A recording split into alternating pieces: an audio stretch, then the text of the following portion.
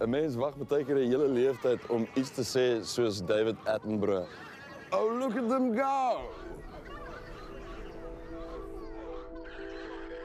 Miskien beteken dit iets dat hierdie robkolonie dieselfde stukkie aarde gekies het om hulle tuiste te maak as waar die Otawie se laaste vaart in 1945 op 'n einde geloop het.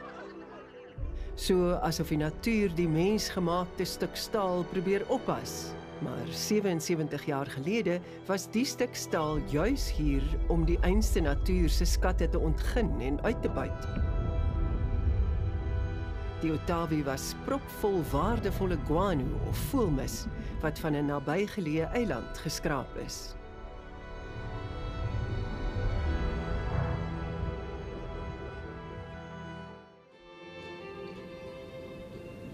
Daar is 'n eilandjie daar. Sy naam is Mercury Eiland. En ons weet dit want daar bly 'n mees interessante bra met 'n baard. Nee, dis nie my huis nie. Jan Jones 1A en ek is van Mercury Eiland. Woon op 'n klip in die see. Is dan in die middel van niks. Dit is so 3 km van die land af, maar dan sit net woestyn.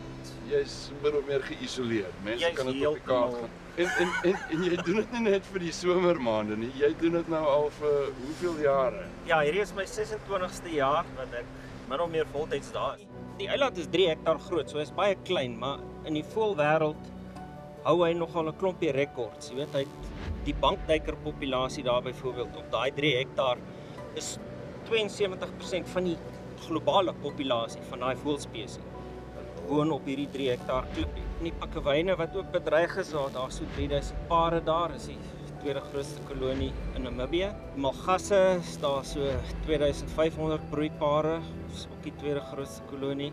Uh, Rian, uh, uh, dit is vir my besonderse voorreg om met jou te kom broodjies breek. Ons gaan nou op 'n journey en ek dink daar's ergens is daar mitologie wat sê if you come across this guy he's going to give you some sort of golden nugget en ek dink jy het jy gesê ons moet mense onder die indruk bring van hoe verweef en delikaat alles is.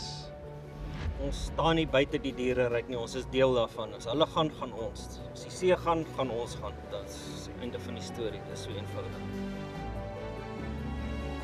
Booty